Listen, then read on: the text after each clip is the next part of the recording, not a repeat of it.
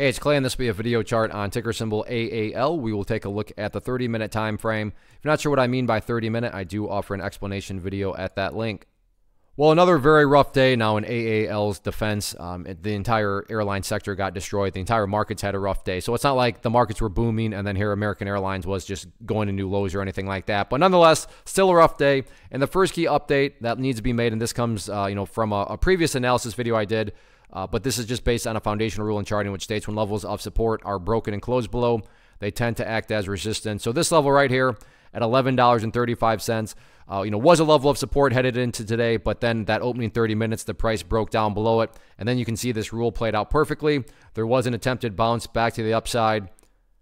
And then you can see that is right where the price got rejected from and then rolled back over. So, like I said, uh, I'm not saying the price cannot bounce or anything like that. I'm just saying that if there is any sort of bounce, then yeah, definitely the, the first key big test of the bounce is going to be right there at $11.35.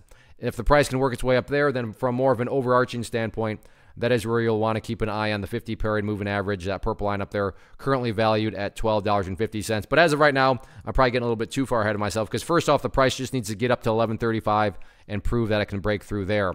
As far as levels of support are concerned, initial level, nothing fancy, nothing complicated behind it at all, other than the fact of where did the bleeding finally stop today, and that was right there at $10.50. So a whole lot of people are going to be watching 1050, long, shorts, everybody in between, because if the price does not hold above 1150, then next key overarching level, not until down here at these lows, right around ten dollars. Uh, not that the, you know there's a guarantee that if it fails, it's dropping straight down to ten fifty. My point is that, that that's a pretty big leeway, especially on basically a ten dollar stock. Fifty cent move from a percentage standpoint that can add up pretty quickly. So like I said, that those are going to be the two main technical levels going forward: ten fifty in the near term, and then overall right down there at ten dollars from back here from a few weeks ago. But overall, looking pretty bearish here. But we'll see what Thursday brings.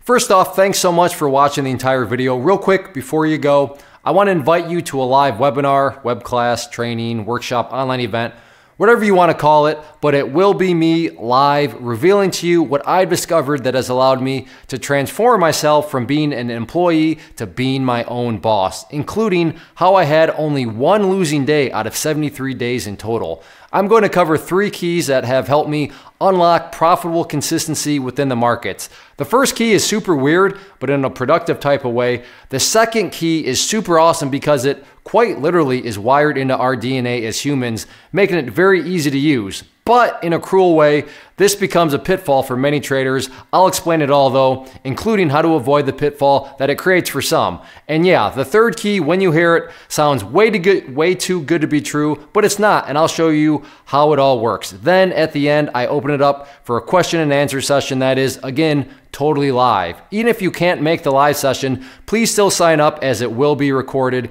and you can go back and watch the replay that I will send you.